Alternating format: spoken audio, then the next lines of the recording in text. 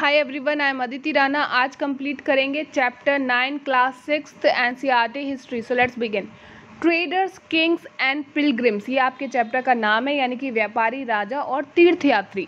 Firstly बात करेंगे traders and ancient trade traders यानी कि व्यापारियों के बारे में अब हम देखेंगे और एंशियन ट्रेड पुराने समय में व्यापार किस तरीके से होता है था ये जानेंगे। Firstly the question arise who are traders सबसे पहले बताते हैं कि ट्रेडर्स क्या होता है। People who buy things where they are made and sell them somewhere else व्यापारी वो लोग होते हैं जो चीज़ों को वहाँ खरीदते हैं जहाँ पे वो बनती हैं, उनका निर्माण होता है और बाकी जगहों पे जा जा के दूसरी जगहों पे जाकर उन्हें महँगे दामों पर बेच देते हैं। How do we know about ancient trade पुराने समय में व्यापार किस तरीके से होता था और किन किन चीज़ों का होता था? हमें इनके बारे में पता कैसे चलता है? We know about them from different kind of finding जो हमें डिफरेंट अवशेष मिलने हैं आर्कोलॉजिस्ट को। उनके द्वारा हमें इनके बारे में पता पड़ता है। फर्स्टली बात करेंगे N B P W means northern black polished ware ये हमें इसके अवशेष मिले हैं in different parts of the sub continent sub continent के डिफरेंट डिफरेंट हिस्सों में हमें इनके अवशेष मिले हैं. This fine pottery specially bowls and plates were found at several archaeological site throughout the sub continent यानी कि उत्तर के काले पॉलिश वाले ये बर्तन हमें अलग अलग स्थानों पर प्राप्त हुए हैं. यानी कि पुराने समय में जो ट्रेडर्स थे, व्यापारी था, वो इन बर्तनों का ट्रेड करते थे, ये हमें इन अवशेषों से ज्ञात होता है.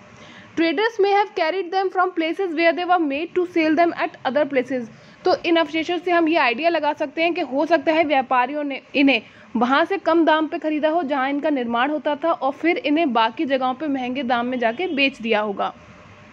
और हमें क्या मिला है? हमें मिले हैं Roman coins so South India was famous for gold spices specially black pepper and precious stone जो साउथ इंडिया है, हमारे इंडिया का जो दक्षिण छोर है, वो सोने के लिए, मसालों के लिए, खासतौर पर काली मिर्च और कीमती पत्थरों के लिए उस समय में बहुत प्रसिद्ध था। Pepper was very valued in the Roman empire जो काली मिर्च थी ना, रोम के समाज में उसकी बहुत ज़्यादा मांग थी। तो उसे ब्लैक गोल्ड कहा जाता था, यानी कि काला सोना कहा जाता था। हाउ डू वी नो हमें इसके बारे में कैसे पता चलता है कि पुराने समय में जो भारत था, दक्षिण भारत था, उसका व्यापार होता था मसालों का गोल्ड का प्रीशियस स्टोन का, रोम के साथ। हमें कैसे पता पड़ता है? Because many Roman gold coins have been found in South India क्योंकि भारत में रोमन सिक्के मिले हैं। इससे हम अंदाज़ा लगा सकते हैं कि उन दिनों रोम के साथ हमारा अच्छा व्यापार चल रहा था। हम उन्हें मसाले सेल करते थे रिटर्न में वो हमें गोल्ड कॉइन्स में पे करते थे। Trader carried many of these goods to Rome. जो व्यापारी थे, वो अपने साथ बहुत सारे गुड्स को लेके जाते थे जिनकी रोम में डिमांड होती थी। वो इंडियन गुड्स जिनकी रोम में डिमांड होती थी, वो व्यापारी अपने साथ वहाँ तक लेके जाते थे। अब लेके जाते थे तो यानी कि किसी रास्ते से जाते होंगे, किस तरीके से जाते थे, वो देखते हैं। इन शिप्स बाय सी या तो वो समुद्र के रास्ते से जाते थे और कार्बन्स बाय लैंड यानी कि ज़मीन के रास्ते से भी जाते थे। तो यहाँ पे एक पोएम दिखी हुई है। See this is an example of Sangam literature यहाँ पे एक पोएम लिखी हुई है कि किस तरीके से व्यापार किया जाता था। इसकी एक्सप्लेनेशन भी है। शॉर्ट के व्यापार के हमें जो प्रमाण मिले हैं, वो संगम कविताओं में मिले हैं। वहाँ पे वर्णन किया गया है कि समुद्री जहाज़ों पर कैसे लाद के सामान ले जाया जाता था या तेज़ तरह घोड़ों की पीठों पर लाद के जाया जाता था। काली मिर्च की गठरियों को हिमालय से जो रत्न प्राप्त होते थे, सोना प्राप्त होता था, उनका भी ट्रेड किस तरीके से किया जाता था, ये सब आपको इस पोएम में देखने को मिलेगा डिस्क्रिप्शन नेक्स्ट बात करते हैं trade routes trader explore several sea routes व्यापारी, क्योंकि उन्हें बार बार आना पड़ता था, ठीक है? समुद्री रास्तों से इस वजह से उन्होंने बहुत सारे समुद्री रास्तों की खोज कर ली थी कि कौन सा रूट उन्हें शॉर्ट पड़ेगा कम ट्रैवल करके वो व्यापार कर सकते हैं और उन्हें प्रॉफिट मिलेगा। Some of these followed the coast कुछ उन्होंने ऐसे रास्तों का पता लगाया जो बिल्कुल समुद्र के किनारे चलते थे, ठीक है? Other routes were across the Arabian Sea and the Bay of Bengal कुछ रास्ते ऐसे थे जो अरब सागर और बंगाल की खाड़ी को पार करते हुए वो क्रॉस करते थे। In routes across the Arabian Sea and the Bay of Bengal sailors took advantage of the monsoon wind जो सेलर होते थे, जो नाविक होते थे, वे मानसून की हवा का फ़ायदा उठाकर अपनी यात्रा को जल्दी पूरा कर लेते थे। यानी कि वो वेट करते थे कि हम तब ट्रैवल करेंगे जब मानसून विंड्स आने का समय होगा। क्योंकि जो विंड है, अगर आप विंड के ही डायरेक्शन में जा रहे हैं तो वो क्या करती है, आपकी जर्नी को ईजी बना देती है जब आप सी रूट यानी कि समुद्र के रास्ते से जाते हैं। For example if starting point is East Africa और अरेबिया यानी कि अगर उन्होंने यात्रा का आरंभ अफ्रीका या अरब के पूर्व तट से किया है और उन्हें कहाँ तक जाना है, उन्हें वेस्टर्न कोस्ट पे जाना है सब कॉन्टिनेंट के तो वो क्या करते थे? साउथ वेस्ट मानसून विंड के साथ ट्रैवल करते थे। इससे क्या होता था? उनकी नाव को पुश मिलता था विंड से और वो ईजिली अपनी यात्रा को कंप्लीट करते थे। But study ships had to be build for this long journey लेकिन इस तरह की यात्राओं में बहुत दिनों, बहुत महीनों का समय लगता है। इसलिए वो ऐसी शिप्स का निर्माण करते थे जो काफ़ी मज़बूत होती थी और काफ़ी दिनों तक पानी में आराम से रह सकती थी, टिक सकती थी। Next is kings and ancient trade अब हम देखेंगे राजाओं की क्या भूमिका थी पुराने समय में जो व्यापार होता था उसमें। कंट्रोलिंग नेचुरल रिसोर्सेज राजाओं की जो राज्य होते थे, जो सीमाएँ होती थी, उसके अंदर जो भी नेचुरल रिसोर्सेज आती थी, वो उन्हें कंट्रोल करते थे। So the question arise what are natural resources natural resources हैं क्या? हमें प्रकृति से जो भी चीज़ें मिलती हैं, वही नेचुरल रिसोर्सेज होती हैं। The southern half of the sub continent is marked by a long coast line जो उप महाद्वीप का दक्षिणी भाग है। वहाँ पे बहुत बड़ा तटीय क्षेत्र है। इस तरह का हिस्सा है ना? तो यहाँ पे तटीय क्षेत्र है। समुद्र के पास की ज़मीन है, ठीक है? There are also hills plateau and river valleys यहाँ पे पहाड़ भी हैं, पठार भी हैं और नदी के द्वारा, नदी के बहाव के द्वारा बने हुए मैदान भी हैं। The river valley of Kaveri is the most fertile अगर हम बात करें तो जो नदियाँ हैं, उनके द्वारा जो मैदानी इलाके बने हैं ना तो जो कावेरी नदी की वजह से मैदानी इलाका बना है, वहाँ की जो भूमि है, वो बहुत ज़्यादा उपजाऊ है। ठीक है? यानी कि जो फर्टाइल लैंड होती थी और ऐसी लैंड होती थी, जहाँ पे बहुत सारी प्राकृतिक खनिज हमें मिलते थे, उन सबको राजा कंट्रोल करते थे। The question arise why control these natural resources क्यों उन्हें ज़रूरत थी इन नेचुरल रिसोर्सेज को कंट्रोल करने की? Because chiefs and kings who control the river valleys and coast become rich and powerful क्योंकि जो मैदानी इलाके होते थे, उपजाऊ या तटीय इलाके होते थे, उन पर जो भी कंट्रोल करता था, चाहे वो कोई सरदार हो या राजा हो तो उसकी संपत्ति में काफ़ी इजाफा होता था और वो धीरे धीरे ताकतवर बनता जाता था। नेक्स्ट बात करेंगे, Muvendar. Sangam poems mention the Muvendar Sangam कविताओं में हमें मूवेंदार की चर्चाएँ मिलती हैं। मूवेंदार एक तमिल वर्ड है, जिसका मतलब होता है थ्री चीफ्स यह एक तमिल भाषा का शब्द है, जिसका मतलब है तीन मुखिया। It was use for the head of the three ruling family इसका प्रयोग तीन मुखियाओं के लिए किया गया है, जो कि तीन रॉयल फैमिली से बिलोंग करते थे। चोल, चेर और Pandey. These three ruling families become powerful in South India 2300 years ago. लगभग 2300 साल पहले जो दक्षिण भारत है, वहाँ पे ये तीनों फैमिलीज़ बहुत ही ज़्यादा शक्तिशाली थी। How did move in the control ये किस तरीके से कंट्रोल करते थे अपने राज्य को, अपनी टेरिटरी को? Each of these three cheese had two centres of power one on the coast and another one inland. इन तीनों मुखियाओं के पास अपने अपने दो सत्ता के केंद्र होते थे, ठीक है? एक तो होता था कोस्टल एरिया, ऐसी ज़मीन जो समुद्र के पास होती थी, और दूसरी क्या होती थी? इनलैंड होती थी, ऐसी भूमि जो काफ़ी उपजाऊ होती थी और चारों तरफ़ से ज़मीन से घिरी होती थी। ऑफ़ दी सिक्स सिटीज़ क्योंकि देखिए तीन लोग हैं और तीनों पे दो दो मुख्य केंद्र हैं तो क्या हुआ? सिक्स सिटीज़ हो गई टू वर इंपॉर्टेंट इस तरह के छः केंद्रों में से जो दो बहुत ज़्यादा इंपॉर्टेंट हैं, वो हैं आपके Puhar and Kaveri Pattinam ports of Chola, ठीक है? यहाँ पे चोलों का शासन होता था। मदुराई कैपिटल ऑफ़ पांड्यास, दूसरी बात करते हैं मदुराई की तो वो पांड्यों की राजधानी थी। The chief did not collect regular taxes तो ये जो चोलास थे, जो पांड्यास थे, ये रेगुलर बेसिस पे टैक्स को नहीं कलेक्ट करते थे कि एक फिक्स टाइम पे मंथ के या साल के एक फिक्स टाइम पे आपको टैक्स देना है। ऐसे नहीं कलेक्ट करते थे। Instead they demanded and receive gift from people यह लोग क्या करते थे? नियमित कर नहीं लेते थे। उसकी बजाय उपहारों की मांग करते थे। They also went on military expedition and collected tribute from the neighbouring areas कभी कभी यह सैनिक अभियानों पर भी निकल पड़ते थे और आसपास के इलाकों से शुल्क वसूल करते थे टैक्स को कलेक्ट करते थे। रेगुलर बेसिस पे नहीं करते थे, अपने अकॉर्डिंग टाइम टू टाइम करते थे। They kept some wealth and distributed the rest amongst their supporter इनमें से थोड़ा धन वो अपने पास रखते थे, बाकी अपने सपोर्टर्स में, अपने शुभ चिंतकों के बीच में डिस्ट्रीब्यूट कर देते थे including members of their family soldiers and poets इसमें इनके जो समर्थक हैं, जैसे कि इनके रिश्तेदार हैं, या इनके सिपाही हैं, या जो कवि हैं, जो इनकी तारीफों में लिखते हैं, वो सभी शामिल होते थे। Many poets whose composition are found in the Sangam collection अनेक संगम कवि हैं जिन्होंने इन मुखियाओं की इन राजाओं की प्रशंसा में कविताएँ लिखी हैं और बदले में उन्हें कीमती हीरे जवाहरात सोना घोड़े हाथी ये सब दिया जाता था ओके okay? सो so, इस तरीके से वेल्थ डिस्ट्रीब्यूट होती थी The rise of new ruler. Around 200 years later, a dynasty known as the Satavahanas became powerful in western India. लगभग 200 वर्षों के बाद पश्चिम भारत में सतवाहन नामक राजवंश का प्रभाव बढ़ गया। The most important ruler of the Satavahana was Gautamiputra Satakarni जो सतवाहना थे, उनका सबसे प्रमुख जो राजा था, उसका नाम था Gautamiputra Satakarni he send his army to the eastern western and southern coast इन्होंने अपनी सेना को पूर्वी, पश्चिमी तथा दक्षिणी तटों पर भेजा था। We know about him from an inscription compose on behalf of his mother Gautami Balashri इनके बारे में हमें इनकी माँ गौतमी बालाश्री के द्वारा एक जो अभिलेख था, उससे पता पड़ता है।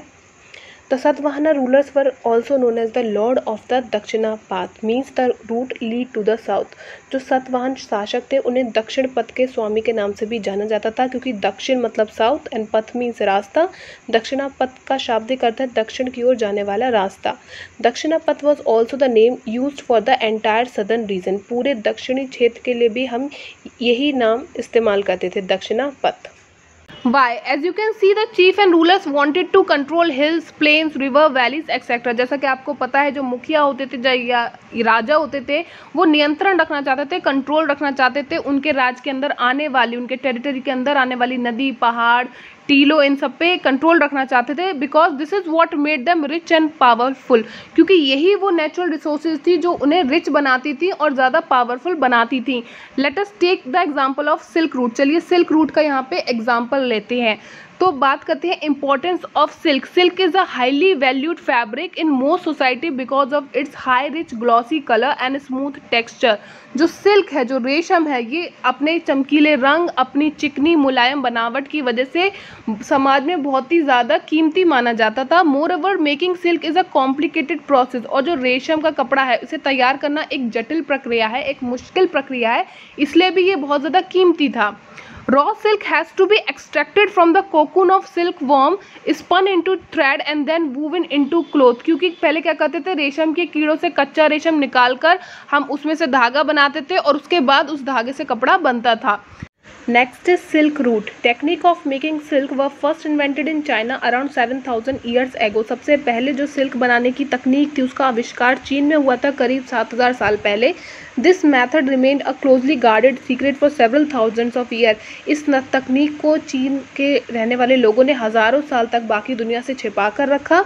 Several people who went from China to distant lands on foot, horseback or on camels carried silk with them. जो लोग चीन से आते थे यानी कि जो vyapari गण वहाँ से आते थे पैदल आते थे घोड़ों पर या ऊँटों पर आते थे और दूर दूर जगहों तक ट्रैवल करते थे वो अपने साथ रेशम के कपड़े लेके जाते थे the path they followed came to be known as silk route और जिस रास्ते से ये लोग यात्रा करते थे चाहे वो पैदल हो हॉर्स के साथ हो या कैमल्स के साथ हो जिस रूट से ये यात्रा करते थे बाकी के स्थानों पे उसी रूट को सिल्क रूट के नाम से जाना जाता है हाउ सिल्क बिकेम पॉपुलर ये इतना प्रसिद्ध क्यों हुआ silk was valuable and a secret to me क्योंकि सिल्क बहुत ही कीमती था और इसे बनाना एक रहस्य था Chinese rulers sent gifts of silk to ruler in Iran and West Asia. From there, the knowledge of silk spread further west. कभी कभी जो चीन के शासक थे वो ईरान में और पश्चिमी एशिया के राजाओं को उपहार के तौर पर क्या करते थे? सिल्क के बने हुए कपड़े सेंड करते थे। तो इस वजह से जो सिल्क था ना, वो पॉपुलर हो गया क्योंकि उसके बारे में जो जानकारी थी, वो और वेस्ट की साइड स्प्रेड हो गई, फैल गई।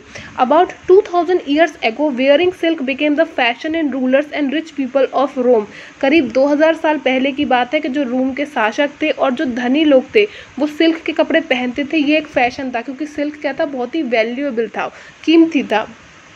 Silk and silk route silk was very expensive because it had to be brought all the way from China silk जो है वो बहुत ही महँगा था। उसकी कीमत बहुत ज़्यादा थी, इसलिए सिर्फ़ रिच लोग या शासक लोग उसे पहनते थे, क्योंकि इसे चीन से लाना पड़ता था, जो कि बहुत लंबा रास्ता है।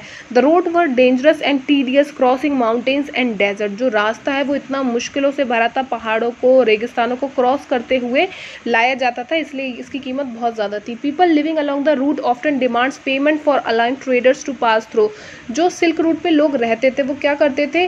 टैक्स वसूलते थे, एक पेमेंट लेते थे और तब ट्रेडर्स को, यानी कि व्यापारियों को वहाँ से जाने देते थे। Some kings try to control large portion of the route कुछ जो शासक थे, उन्होंने क्या किया था? सिल्क रूट के बड़े बड़े हिस्सों पे अपना कंट्रोल करके रखा था।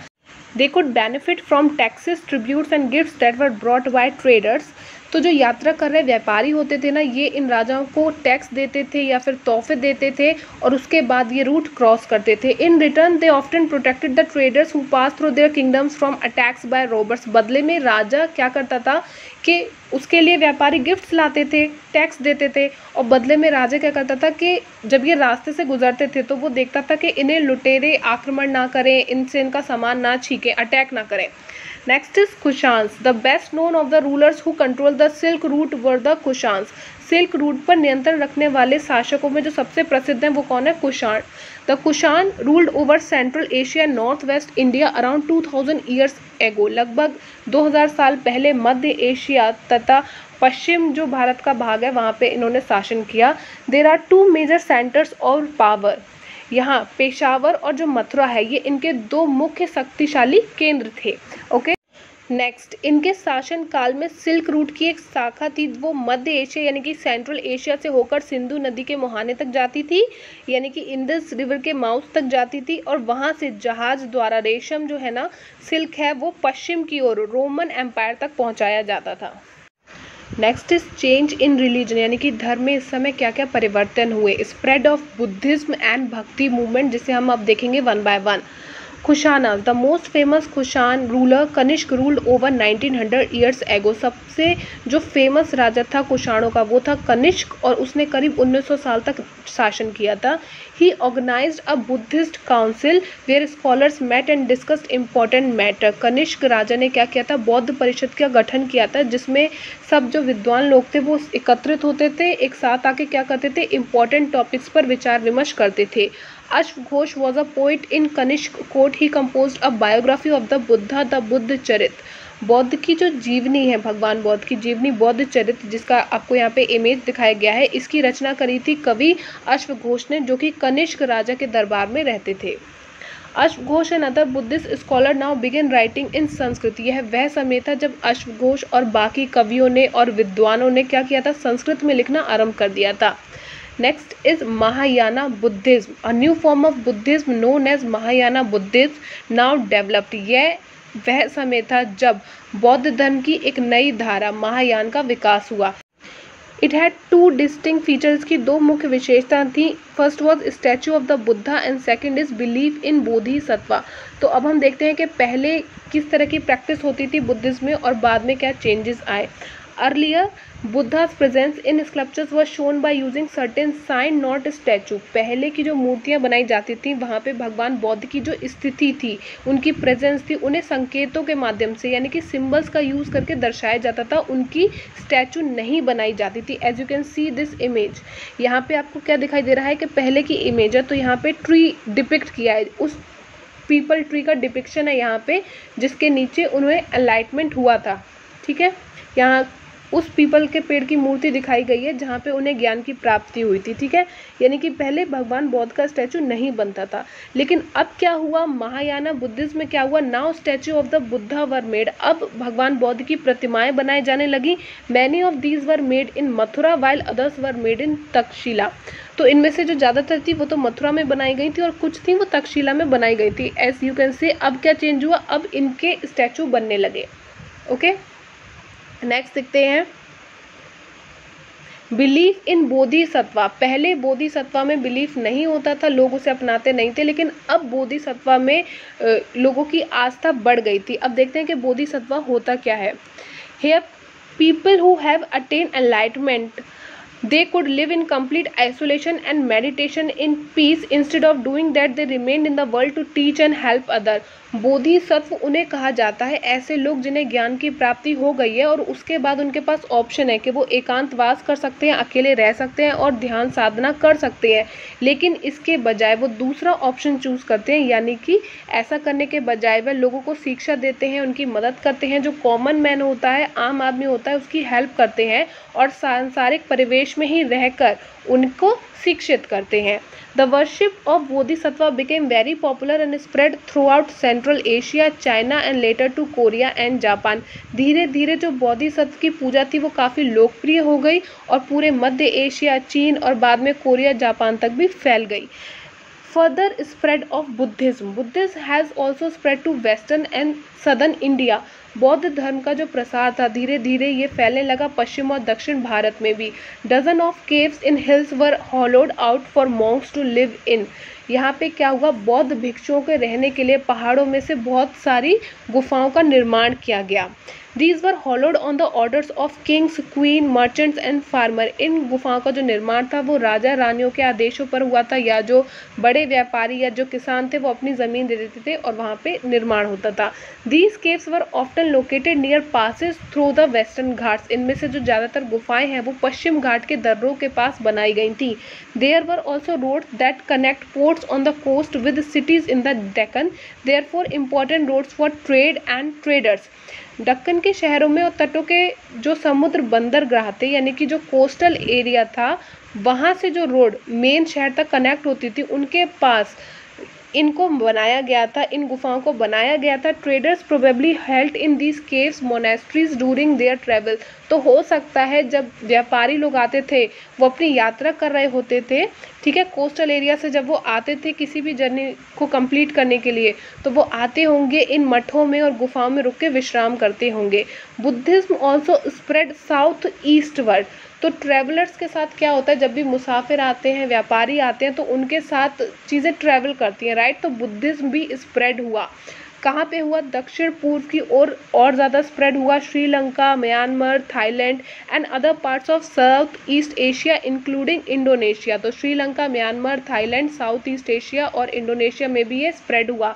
In these area the older form of Buddhism called Theravada Buddhism was more popular लेकिन इन एरिया में जो बुद्धिज्म प्रैक्टिस किया जाता था और जो पॉपुलर था बुद्धिज्म का फॉर्म वो क्या था? पुराना वाला फॉर्म था, जिसका नाम है Theravada.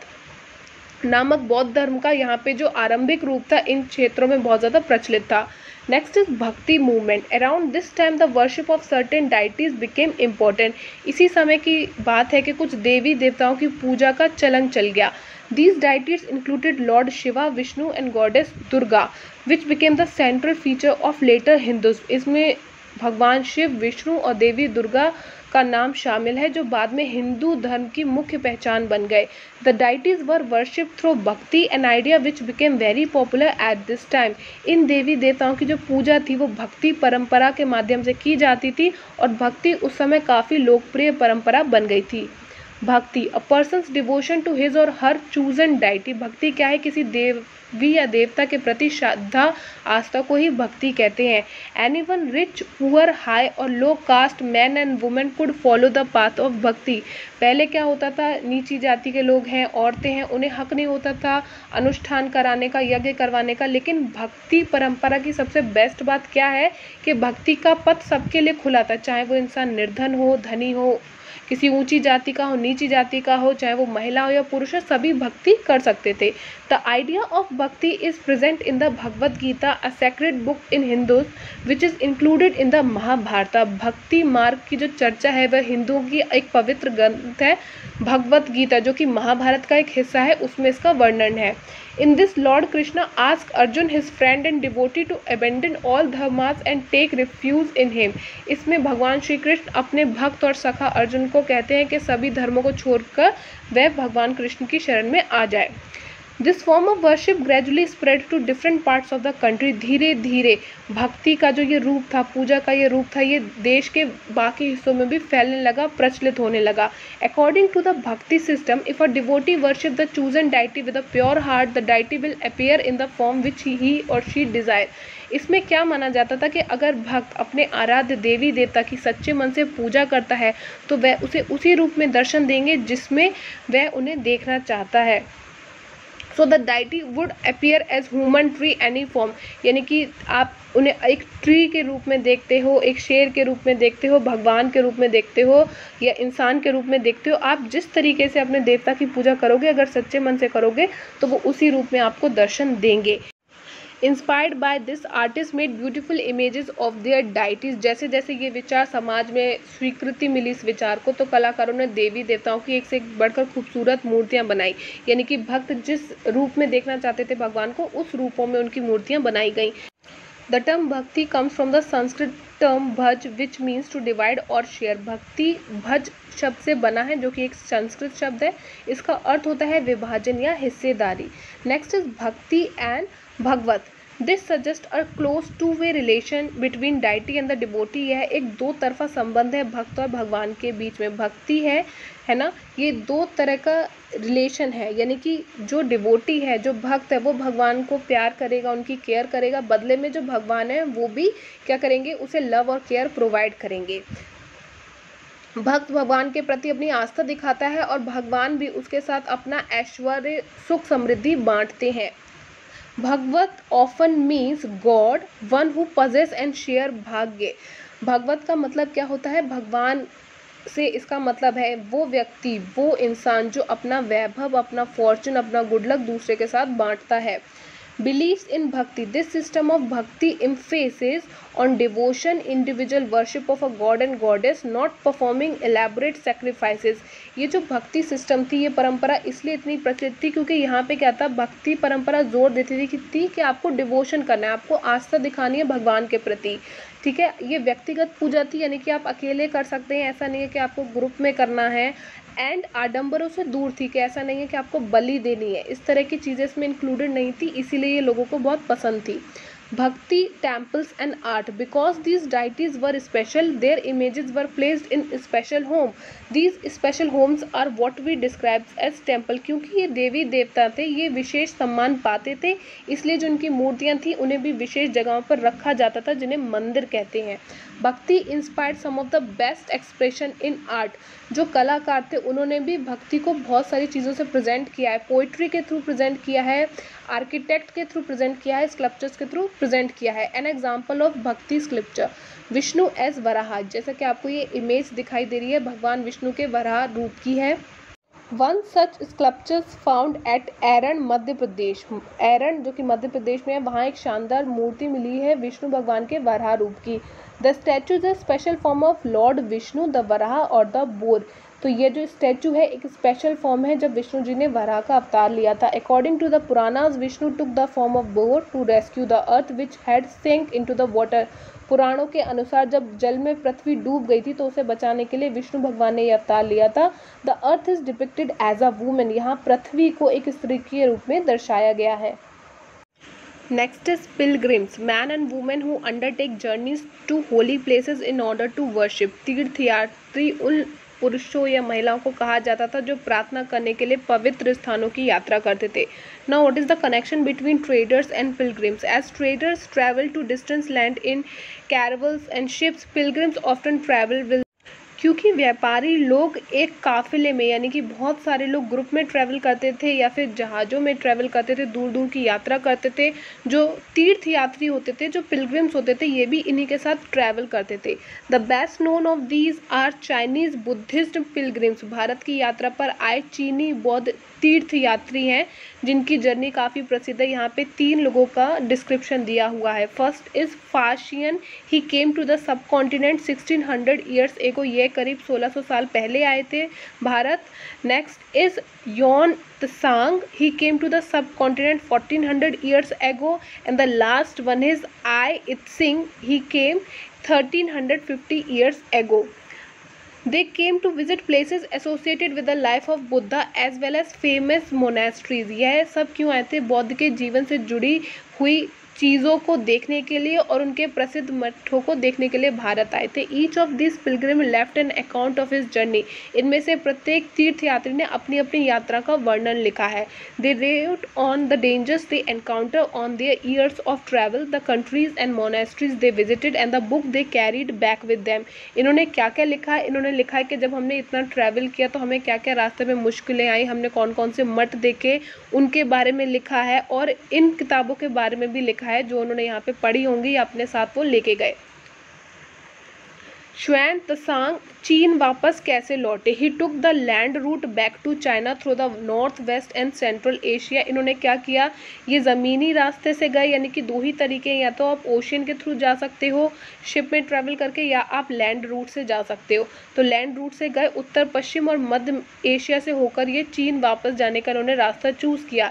He carried back with him statues of the Buddha made of gold silver and sandalwood 1600 manuscript loaded on the back of 20 horses इन्होंने क्या किया? सोने, चांदी और चंदन की लकड़ी से बनी हुई बौद्ध की प्रतिमाएँ अपने साथ रखी और 1600 से ज़्यादा पांडुलिपि यानी कि ऐसी बुक्स जो हाथों से लिखी हुई थी, उन्हें का जो कलेक्शन है अपने साथ रखा हुआ था, जिन्हें 20 घोड़ों के ऊपर लाद कर ही अपने साथ ले जा रहे थे। Around 50 manuscript were lost when the boat in which he was crossing the Indus capsize यानी कि जब आधा रास्ता तो इन्होंने लैंड का कवर किया हॉर्सेस के साथ, ठीक है? ट्वेंटी हॉर्सेस पे इन्होंने अपना लगेज लाद रखा था और आधा रास्ता कवर करने के बाद जब इन्होंने इंदस रिवर को क्रॉस करना चाहा तो क्या हुआ? जिस बोट में ये थे, वो कैप्साइज हो गई, यानी कि थोड़ा पानी में पलट गई और उसकी वजह से जो फिफ्टी मैनुस्क्रिप्ट थे, वो क्या हुआ? खो गए, नदी में खो गए, जब इनकी नाव पलट गई।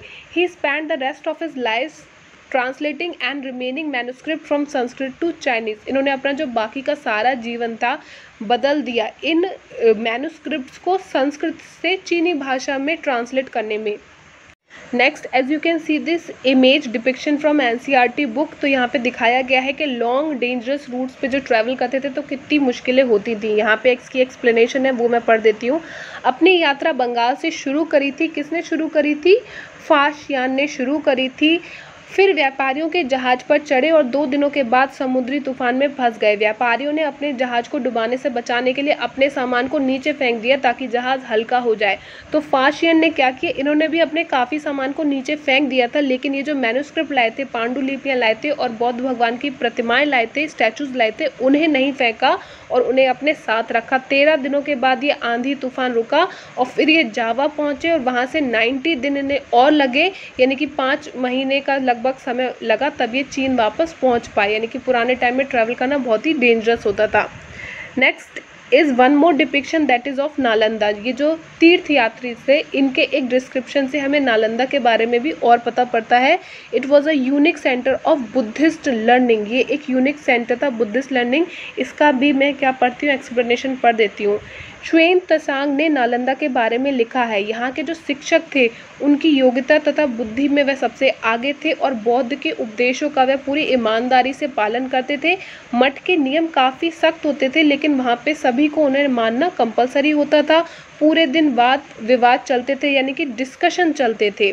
इसमें जो यंग लोग हैं ओल्ड लोग हैं, वो सभी पार्टिसिपेट कर सकते थे। अगर कोई नया इंसान एंटर करता था नालंदा यूनिवर्सिटी में तो जो जो गेट कीपर था, वो सभी लोगों से कठिन प्रश्न पूछता था। अगर किसी को अंदर जाना है तो उसके क्वेश्चन के आंसर देने पड़ते थे, तभी अंदर जाने की अनुमति मिलती थी। तो जब गेट कीपर सही उत्तर जो लोग दे पाते थे, यानी कि दस में से कोई सात, आठ लोग थे, वो तो उत्तर दे ही नहीं पाते थे। दो या तीन लोग हार्डली उत्तर दे पाते थे, सारे उसके क्वेश्चन का सही से, उन्हीं को सिर्फ़ अंदर जाना अलाउड करता था। मीन वाइल एल्सवेयर उसी समय कहीं और पे क्या हो रहा था? Around two thousand years ago Christianity emerge in West Asia करीब दो हज़ार साल पहले पश्चिम एशिया में ईसाई धर्म का उदय हुआ, यानी कि स्टार्टिंग हुई। Jesus Christ was born in Bethlehem and it was then the part of the Roman Empire जो जीजस क्राइस्ट हैं, जो ईसा मसीह हैं, उनका जन्म हुआ था बैथलेम में, जो उस समय रोमन साम्राज्य का हिस्सा था। Jesus Christ teaching the Bible regards Jesus as the saviour of the world Isa Masih ने स्वयं को संसार का उद्धारक बताया था। Christ also taught people to treat other with love and trust just as they themselves wanted to be treated इन्होंने कहा कि दूसरों को प्यार करना चाहिए, उन पर विश्वास दिखाना चाहिए और जिस तरीके से आप चाहते हो कि लोग आपसे ट्रीट करें, उसी तरीके से आपको भी उन्हें ट्रीट करना चाहिए। So here you can see the pic यहाँ पे कुछ टीचिंग्स ऑफ़ क्राइस्ट यानी कि ईसा मेसी की कुछ टीचिंग्स को दिखाया गया है, जो कि बाइबल बुक का एक हिस्सा है। उससे ये पिक लिया गया है। The holy book that contains the teaching of Christ is called the Bible Bible में ईसा मसीह के उपदेशों की सारी बात लिखी हुई है। Christ teaching appeal to ordinary people his teaching spread through West Asia Africa and Europe Isa Masih के जो उपदेश थे, वो जन साधारण लोगों को बहुत पसंद आए और धीरे धीरे ये पश्चिम एशिया अफ्रीका और यूरोप में भी फैल गए Christianity in India. The first preachers came from West Asia to the west coast of the subcontinent within 100 years of Christ's death. ईसा मसीह की मृत्यु के 100 सालों के अंदर ही भारतीय उपमहाद्वीप के पश्चिम तट पर सबसे पहले ईसाई धर्म प्रचारक पश्चिम एशिया से आए थे the Christian of Kerala are known as Syrian Christian because they became come from West Asia Kerala के जो ईसाई हैं, उन्हें सीरियाई ईसाई कहा जाता है क्योंकि संभवतः ये पश्चिम एशिया से आए थे। They are amongst the oldest Christian community in the world क्योंकि यह देश के सबसे पुराने ईसाइयों में से एक है। With this which cover this chapter thanks for watching